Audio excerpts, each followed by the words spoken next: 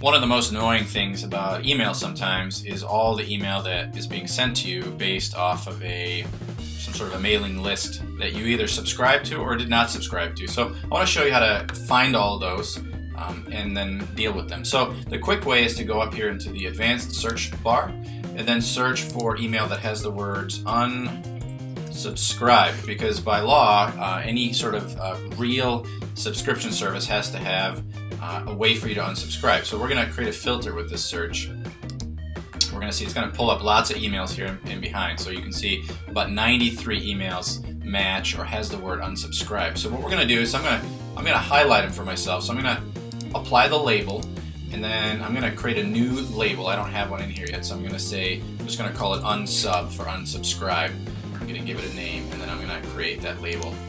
And then importantly, I'm going to apply the filter to matching conversation. So that means all the email that you see in the background here that matches um, this will also sort of be retroactively added to the filter. And then I'm going to create the filter.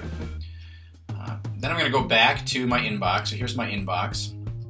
And then I'm going to go on the left hand side. I'm going to find that um, filter now, or the the label. It's probably under more here, so I might have to scroll around a little bit. Here's the unsub one, and you can see that there's 68 conversation. I'm going to give it a label color. I'm going to make it uh, pop out. I'm going to give it this sort of uh, orange color, I think, for today.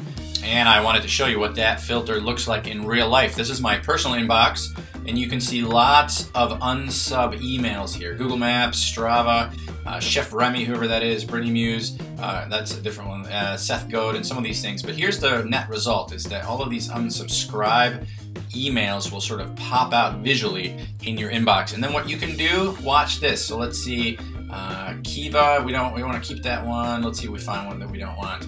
Uh, you can go in and unsubscribe to it. So for example, here's a good one. Nomadics, I don't even know what this is. I don't think I ever signed up for it. I'm gonna scroll to the bottom of this email and I'm gonna look for the mail or the link that says you can update your preferences or unsubscribe. So I'm gonna click unsubscribe unsubscribe successful because I don't want to get these emails anymore. Um, this might change. This might uh, be different for depending on how you have signed up in the past. But there you go. And then I'm gonna just archive that email. One less email that I have to read. So that's the that's the final result. Hope you enjoyed. Uh, good luck with your filters.